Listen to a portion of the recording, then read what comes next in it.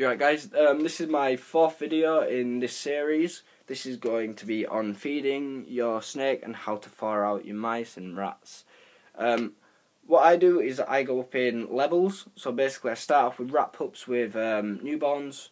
Uh, this is for boas, but you can. It varies between snakes. Like if you're feeding them on mice first, if you get pinkies, you can do this as well. I go up in levels. So basically, the first level is rat pup for my boa and um, feed it that. And uh, after a couple of weeks, it should once it's grown a bit, it should um, afterwards you've fed it one, it should be still looking around its cage, um, its tank, looking for more food. If it does that, move up to level two, feed it two of them, which are rat, rat pups. I feed it two rat pups. Um, then after a couple more week, it should be doing the same, going around after two, looking for more food.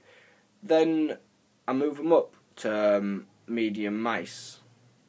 So you get a rat pup, which is about this big, and move it up to a medium mouse. And then I do the same, feed it one after a couple of weeks, move up to level four. And um, feed it two, then after a couple of weeks, move it up to level five, which is an extra large mouse, which I have here. This is an extra large mouse, it's in water, I'm firing it out at the minute. That's how big they are. Um, do the same. Lilo is my het sharp albino, uh, 100%. Uh, plus, uh, yeah, but um, she's on extra large mice at the minute, which is here, which I'm firing out now. Um, then once she gets a bit bigger, I'll be feeding her two, moving up to level six, then moving her straight up like I did with this one, depending on how big. Uh, I moved that one straight up to medium rats. I'll probably put down a small rat soon. Um, or weaner rats. Then just move them up like that, every, then feed them two, then once I get to the max size, which is about this big for a male, um, it's quite big, he's on large rats. Um, females can move up to rabbits uh, if they're big enough, and snake behind me. and uh, so yeah, he can smell food, but he got fed the other day, so it's Lilo's go. Feed these two at the same time, feed her every five days. Big snakes like these ones, uh, these two, I feed every 10 days, 9 to 10 days, depending if how active they are. Um, Lilo, my um, smallest one, I feed every 5 to 7 days, depending how active she is. Um, yeah, so you've got your mice. If you only have one snake, you're best off going to get them from a pet shop, and they cost you about, depending on, like, extra large mice will cost you around 90p. Um, cramp in my leg, sorry. Um, rats can cost you around £2, uh, depending on what size. Uh, so yeah, once you've got all that stuff sorted and you know what size food you get in, you know everything about it, thawing them out. There's a number of ways you can do it. Oh no, if you've um, if you don't want to get it from pet shop, you can buy them in bulk if you've got a few snakes, which I did a video before on which websites I get my stuff off. So basically, I do that.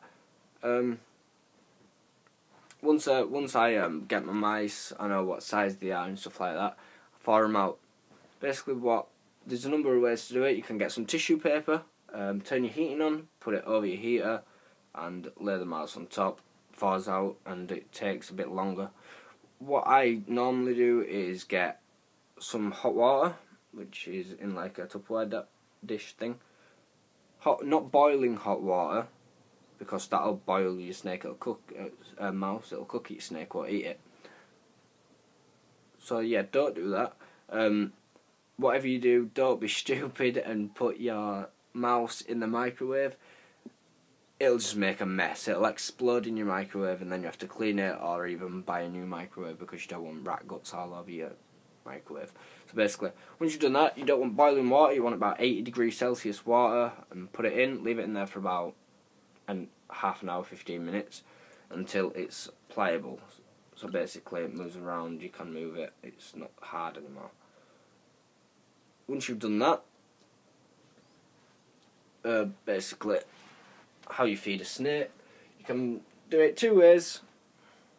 Hold it like this, let it take it from your hand, which i have never done, I might do it this video. Um, I don't recommend it because you can get bit, I use tongs it up, put it in the tank.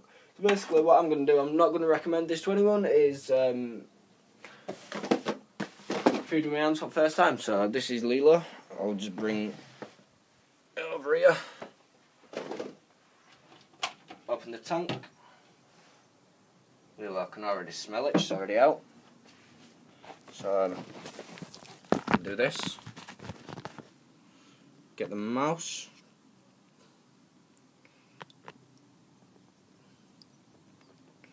Turn it off. And, uh, two seconds guys, sorry about this. There we go. You see that? There we go. Do this.